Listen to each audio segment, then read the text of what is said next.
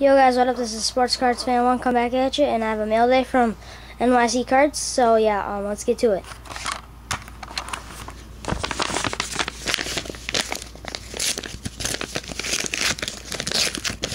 And, alright. Let's see if I can get them out. Did a good job unfolding this. Alright, so Okay.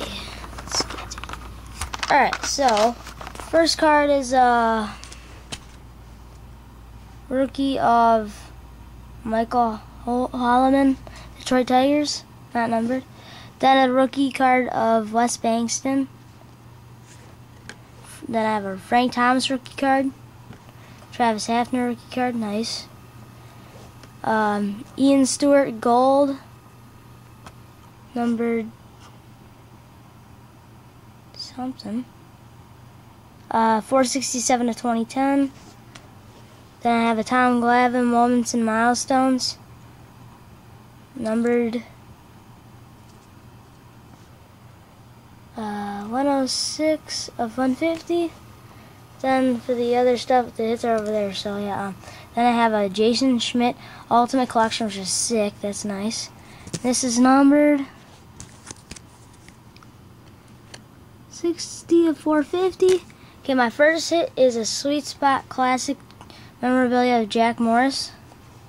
That is not numbered, it's just, that's okay though.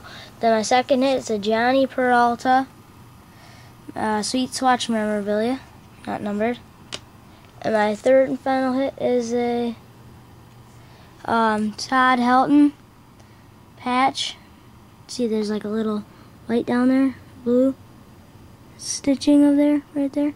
On that other side is another little bit of stitching. Sorry, I didn't put it on there. And that is number 10 of 35. And that's one color, two color on the first one, then one color on the second one. And that's pretty nice. And this is Rare Elements, Authentic Dual Patches. So yeah, it's pretty sick. Um, go sub to uh, NYC Cards, and he's having his sub contest just ended. So um, He's going to be on Blog TV at 7:30 Eastern Time tonight, um, doing the randoms and stuff for the his sub contest for whoever wins. So yeah, um, go sub to him now, and I'll put the link in the sidebar. So yeah, um, uh, that's about it. So thanks, NYC Cards and Peace.